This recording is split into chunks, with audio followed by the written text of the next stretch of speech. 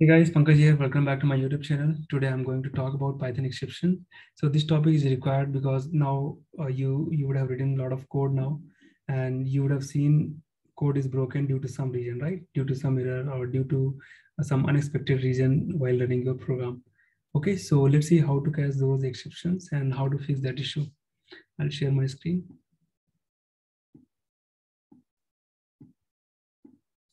Okay, so here is the agenda. So we'll see uh, exception definition, what are various type of exceptions, how to handle the exception, what are uh, try except block, and what is try except and finally block, how to catch the exception message and its class name, how to raise an exception, how to assert an exception, and couple of interview questions.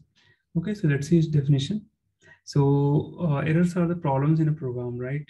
So why this error comes? Because maybe due to syntax error or you're not following the syntax, maybe indentation is missing.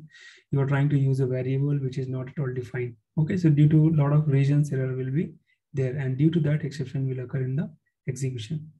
And exceptions are raised when some internal programming issues observed in normal program diagram. So those internal issues are nothing but variable is missing or maybe syntax is not proper. Those are uh, definitely will throw the exception during execution.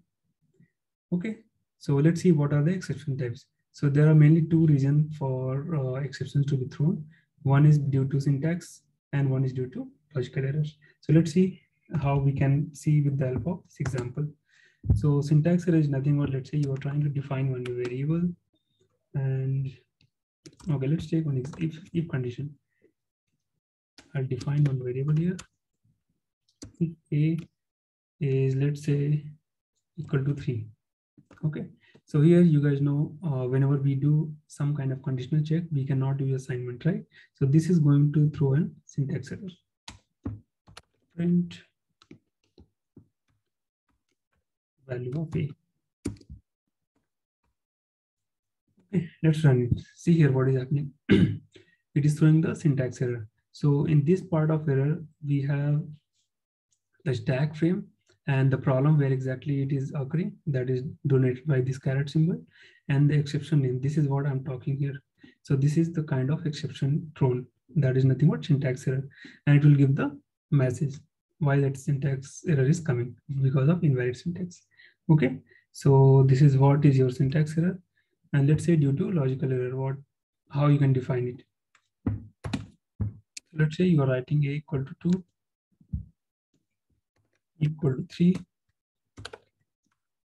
print a by okay b i'll define it 0 a by b. So what will happen here? So you know zero division error uh, will come here. Why? Because division by uh, dividing any number by zero is not at all possible right? So this is happening due to this logical error. So this logic is definitely not acceptable in the program and that is the reason we are getting this error. So this is your another exception type and the message is division by zero. Okay, so like this, we have so many different kind of exceptions. You will see index error, which we have already seen. Okay, if you have not seen, then let me just show you. Let's say you have defined one list one, two, three, and you are trying to print some index, let's say five. Okay, see what is happening. This index is not existing, right? Because length is uh, three. Only three elements are there, but you are trying to access fifth element. And due to that, index error will be thrown. Okay, so like that, we have assertion error, attribute error, import error, key error, and so on. So definitely, uh, at least one or two of them, definitely you will be hitting it daily while writing the program. Okay, so that's all about exception types and how to interpret the error. This is what is shown. Okay, now let's see how we can handle the exception. Why this handling is required. See, the main reason for handling this is, let's say you are writing some program and this particular line exception is coming. So I'll take this example once again. Okay, and after that I'm printing and. Okay, so I expect this line also to be printed, but no, it is not going to be printed. Why? Because this line is throwing an exception, right? So after that, what will happen? No matter how many lines of code is there, it will exit from the execution. Okay, this is the problem or bottleneck of the exception. It is going to stop the execution. Okay, and this is where this catching the exception is required so that I can catch the exception and I can move ahead and execute the next line. Okay, so to handle the exception, we have something called try and except block. This is the block which will help you to catch the exception wherever it is and gracefully exit by executing all the program without terminating it. Okay, so let's see the syntax. Here's something called try keyword. And here write your code which is doubtful. I'll tell you why I'm writing it doubtful. And here we have something called exception. Except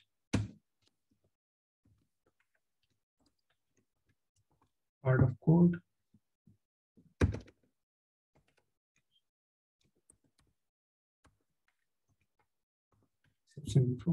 Okay. So this is your normal way of catching the except exception. Okay, so why I'm writing this doubtful? Not every part of code should go under try and except block. You should write only those part of code which you may think it may throw the exception because of runtime value which is passed, which is not ex expected by uh, that particular you know uh, part of code. So let's say you, you are writing one function and run, at runtime it is returning let's say zero. And that zero is being somewhere being used somewhere where you are using that value for div dividing the number right? So definitely divide by zero is not at all acceptable. It is going through an exception okay. So those kind of code which is which you are doubtful it may throw the exception put under try and except block and let's say you are opening a file which is not existing that is also going to throw an exception. Okay. So that part that kind of code should be going inside try and except block. Okay. So this is about syntax. Let's see the example now. So a equal to i'll give 10 b equal to 0 or what i'll do i'll just give int enter a number.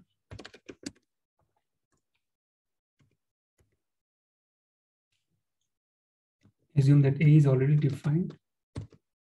And, and b i'm taking input from the user. And user is free. The moment i ask any input from the user he's or she is free to give any number right? Including zero. So let's see what happened. I'm just going to print a by b. Okay and after that a plus b see what is happening? Sorry. I'm missing function here. Input. Let's say 10 right? So a equal to 10 b is also 10 so a by b it is 1.0 and a plus b 20 till here it is fine.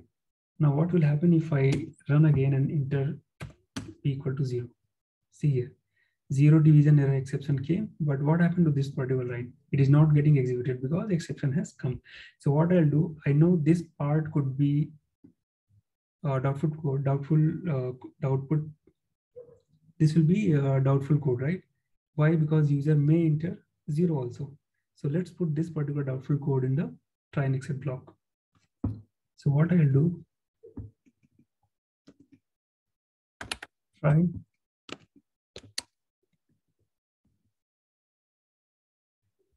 and except.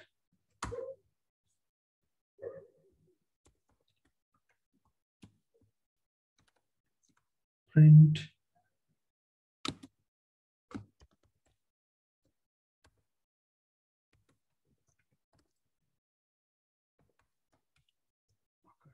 Okay, so let's print 10. So B is not zero, that is 10. So it's fine. It is getting executed properly. Now if I run again and I just enter zero, see what will happen. Exception has come. So the moment exception comes, it is not going to execute any further part of code. It will go to except block and just execute whatever is written in that. Okay. So it is giving exception has occurred. Fine. So you have uh, come across the exception and it has exited gracefully by printing this message. But does it look meaningful? Exception has occurred? No because it is not giving me any information like why that exception has come. Okay, so what will happen now? We can use the uh, catching exception message. This is another part of code. So let's do this later. We'll catch the exception message. So I'll take the same code here. So how to catch the exception? We have something called except exception as error. So this is nothing but a variable So let me write what are those. Exception is nothing but a class of all exception. Why I'm writing mother class? Because this exception is a particular class which will hold all kind of possible exception which can be thrown by the Python interpreter, right? So you don't have to really remember all these kind of exception. You can definitely write these kind of exception name name instead of exception. Uh, but the problem is you should remember all those uh, names of the exceptions. Okay, so instead of remembering, this is the best way to handle it. Just write the mother mother class of the exception, and error is nothing but the variable name. A variable name. So this could be any name. So this is the variable which will hold the exception message, the one which we have been getting here. This message I'm talking about. Okay. So let's run the code and see what happens. So the moment you catch the error, you just message exception occurred due to just do the formatting.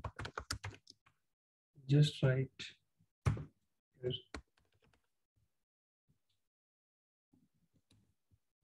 Okay, so I'm executing all fine. Now if I give zero, exception occurred due to division by zero. Okay, maybe I can highlight in a better way by giving this inverted comma.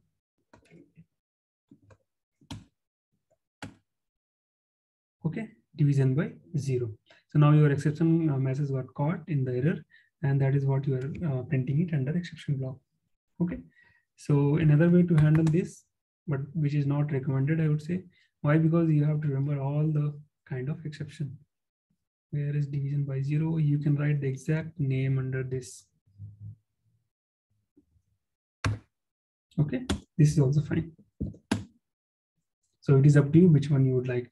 When you are sure you are going to get zero division error i would suggest you can go ahead with direct hard coding the name of the exception. Otherwise exception mother class is good enough. Okay so this is about catching the message of the exception. Now next question comes how you can catch the class name. So when i say class means a division by zero has come, but this particular message belongs to which exception class. Okay, so how you can catch? We have something called, so now this variable is coming, right? So under this, you can, let me just print it. Print error.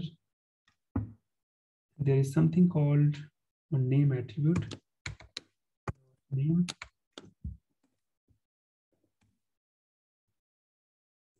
Okay, so it belongs to one class. I can use class double underscore and in this class, what is the name? Yes. So this is another way to catch the exception name. So instead of uh, you are using exception mother class, you can just directly type here exception okay because tomorrow maybe today it is zero division error tomorrow it may be attributed or index error right? So that particular class name will also uh, can get printed by using uh, this error class or maybe whatever variable you have used belongs some class and name attribute which will hold the name of the class. Okay so let's say i'm just going to write a what i can do Okay, let's enter some ABC. So ABC you cannot add with the uh, string or integer, uh, sorry, integer, right? So what will happen? So this is a string and the number which you already have a equal to that is integer. So you are trying to add integer with string. So that is nothing but it is going to throw value error. So exception occurred due to invalid literal integer with based. Okay. And what is the class name? Value error. And you can do proper formatting and just get it printed. Exception occurred due to this which belongs to this exception. Okay, and you can do the formatting using this.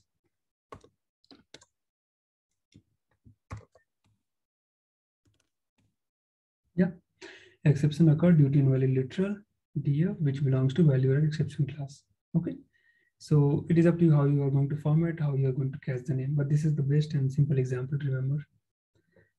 Okay, so that's how you catch the message and class name.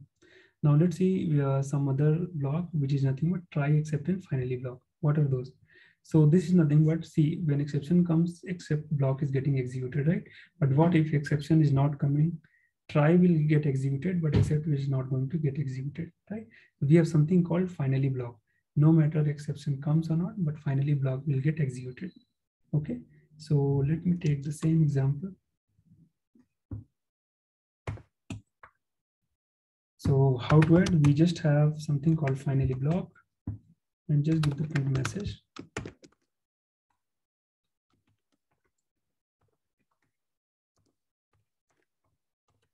Finally block. Okay, so first uh, I'll run without any exception. See here, enter number 10, there's no exception. It is running try block. And after that, it is running finally block. Okay, now this time I'm going to run with the exception by giving zero input and divide by zero. So see here, it is printing the message, catching the exception along with printing the finally statement, right? I mean finally block. So this kind of thing will be used whenever, let's say, uh, you, you are trying to happen, uh, trying to uh, run a program where file handle is being called or maybe network socket opening and closing, right? And due to some reason, something has happened and it has thrown the exception to make sure that it is able to open the file in the next iteration or next loop, definitely your file handler should be available, right? So by mistake, it was not closed in the earlier execution. It is not going to open again, right? It could be socket, it could be file. So make sure that your file or socket is getting closed at the end of the execution. Okay, so that's where your finally block will be helpful to use it. Okay, so that's all about uh, try catch, try except and finally block. Now let's see how to raise an exception. So whatever error or whatever exception you have seen so far, it is coming by default from the Python side based on the error condition is arised. Okay, so what if you would like to raise your own exception? Okay, so if you see here, we have these kind of exception, right? You can raise on your own based on the code you are writing or the condition code you are writing, or you can write your own class of exception and, and just call it. So let's see how to raise it. So we have something called a equal to 10, b equal to 20. Even though it is not type error, but I can raise type error also, right? So if a is greater than, let's say 20, then raise an exception. So make sure that this exception, whatever you are raising, either it is existing already, either it is uh, predefined uh, Python uh, error exception class or user defined exception class. So raise type error. Else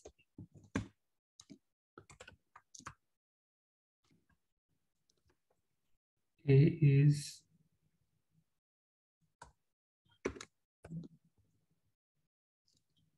just print its value. Okay. So since a value is greater than 10, so here a is what 10, but is it greater than 20? No, right? So it is going to raise type error. So is it raising or not? So print is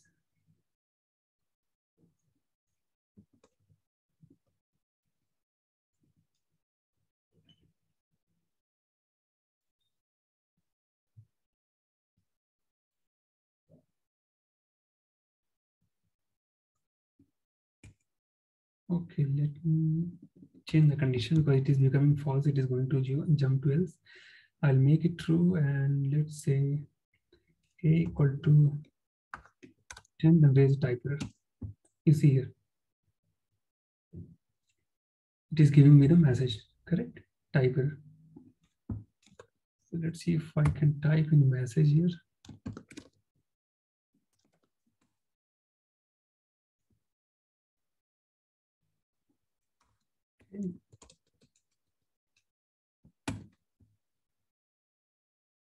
Yeah.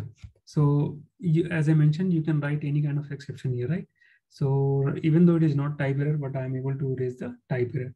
Let's take anything other than this key error. Though key error comes when you try to access any key value from dictionary where key is not existing, uh, existing right? So instead of this, I will use key error. You see here, even though it is not related to key, but I am able to raise the key error exception. That's where you use. Whenever you want, you can just put whatever exception you want based on the kind of program you're writing. Okay, so that's about raising an exception. Now let's talk about a certain exception. So I'm going to take same example. So there's very thin line difference between raise and assert. So raise, you can, you are free to raise any kind of exception, what either user defined or predefined by Python, right? And you can catch those by using try and except block. What about assert? So assert will raise the assertion error, assertion exception error. Okay, and this will be this you do not supposed to catch because assert user definitely want to raise based on the condition is meeting or not. So this will be used uh, mostly for the unit uh, testing of your program. So let's say your entry point of a program is very critical and you want to make sure that it is getting the input whatever program needs. If it is not meeting the required input, then definitely it is going to terminate the program by raising the assertion error. Okay, so let's say my entry point of program is A. Okay, and A itself is not meeting the criteria, then I can raise the assertion error. So the syntax for this is syntax assert. Then here you write a condition. And here your optional message. Okay, this is the syntax. So entry point is A, and let's say it is something related to temperature you are testing, okay? And here I will raise error or assertion error if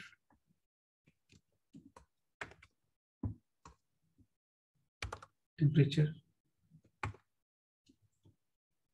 So if temperature is greater than zero, then only it should ex execute the program. If it is less than zero, then I just mentioned the message.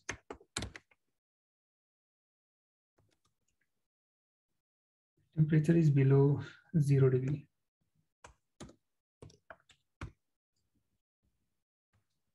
Okay.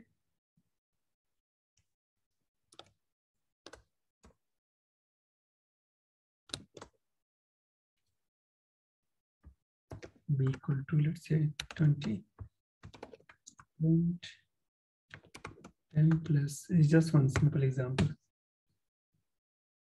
See what is happening here. Assertion is always true. Okay some kind of warning is coming that's fine. So if it is greater than zero then it is going to execute. Okay so this kind of if else. If this is meeting then go ahead. If it is not meeting the criteria raise an assertion error and give this message temperature is below zero degree. Okay, so this is one example. Okay, now let's take another value minus 10.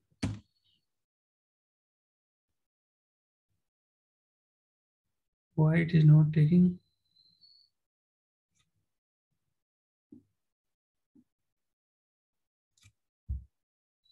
Temperature is greater than zero, temperature is below zero degree.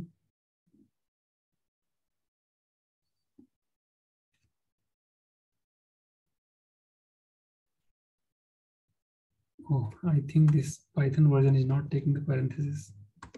That's the problem. Yeah. This parenthesis is not required. Okay, so please correct the syntax. So it is just condition, comma, then optional message. And here also, and this was the reason it was giving warning. Okay, now no more warning. So now it is following the proper syntax. If this condition is met, met then definitely it will proceed. If it is not met, it will raise the exception, assertion exception using this message, right? So here condition is meeting, that's why everything is fine. Here I'm writing the value which is below zero, and that's why it is raising the assertion error by giving this message temperature is below zero degree. And this is the message you are getting. Okay, so that's all about assertion. And raise you have already seen. So as I mentioned again, uh, this assert and raise there is a thin line difference. Assertion will be used not to catch the exception, rather breaking your or terminating your program because it is not meeting the entry point criteria. Okay. Now, what are the interview questions asked in the exception? So how to catch exception message and exception name? So definitely you can use variable name inside the condition under the except block. Okay. Uh, when do we use finally block? As I mentioned, when you uh, uh, when you write program something related to uh, network or opening and closing file, definitely you can use finally block and make sure that your socket or file is closed in that block. Okay, can we use nested try and except block? Yes. So let me just show one example. So here I have equal to 10, b equal to 20, try a plus b so I can use another try and except block inside uh, existing try and except block. Okay. So I can just use print a divide by zero. If it is going to throw exception, I can use except block.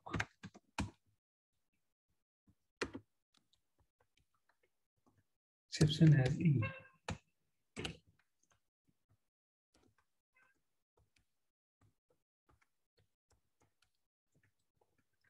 due to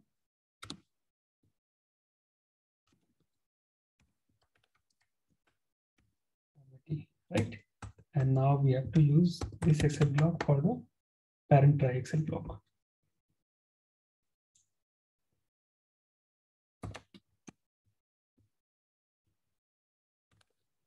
And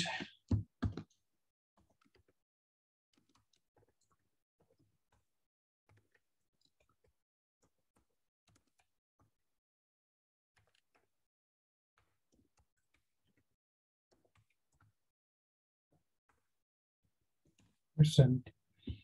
Okay, exception error due to zero division error. Now let's do this.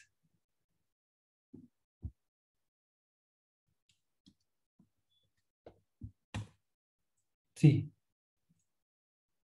So in, in first try, there's no uh, exception, right? It has gone to another try except block, which is nested one. And there it is finding zero division error. That's why it is printed this one, correct? Exception occurred due to division by zero.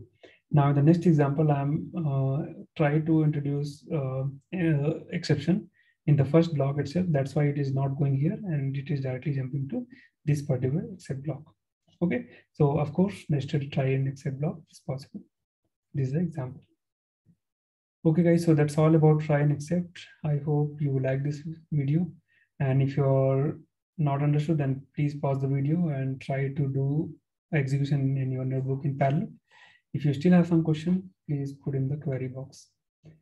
Okay, I'll definitely reply you guys so that you can understand properly. Yeah, that's all from my side today. Thank you so much. Those who have not subscribed my video, please do subscribe. Thank you so much. Bye-bye. Have a nice day.